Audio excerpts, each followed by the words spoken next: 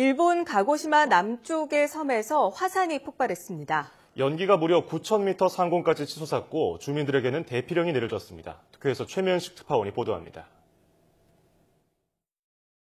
검은 연기가 순식간에 하늘을 뒤덮습니다.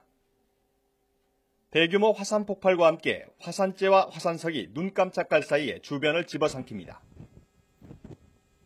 엄청난 폭발 에너지 탓에 연기는 불과 30분 만에 9,000m 상공까지 치솟았습니다.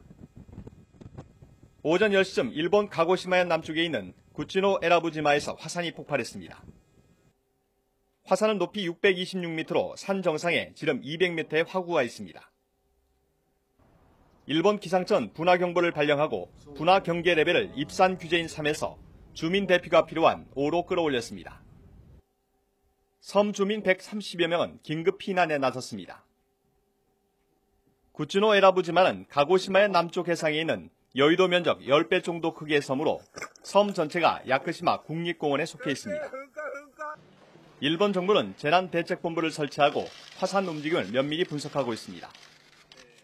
환태평양 조산대에 있는 일본에는 모두 110여 개의 활화산이 있으며 이 가운데 23개가 폭발 조짐이 있어 일본 정부가 감시 체계를 강화하고 있습니다.